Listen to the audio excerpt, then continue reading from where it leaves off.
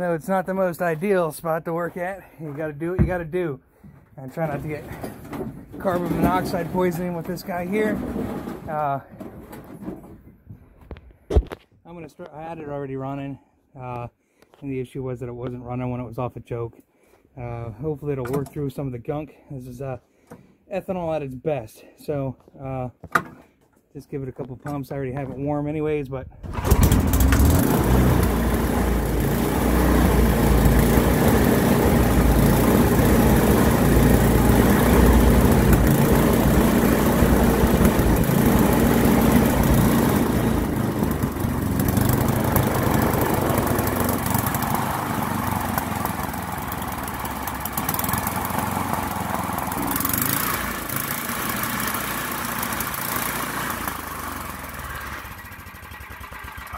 really wish I would have brought my ear mufflers today. My ear muffs with today.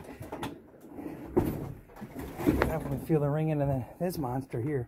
They, this is a neat unit, I won't lie. Uh, wish I had this unit. Uh, I'm not sure why, but it'd be nice to have it anyways. So, uh, same thing here. This was a, a choke and run issue.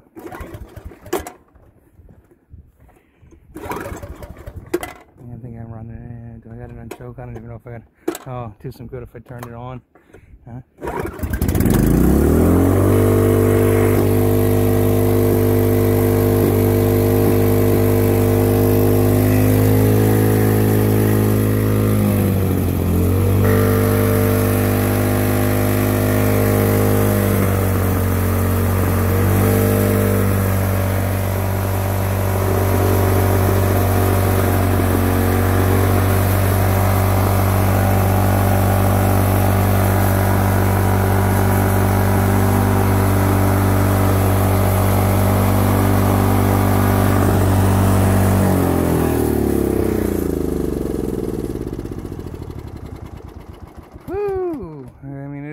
It is 13 horsepower, I think that is.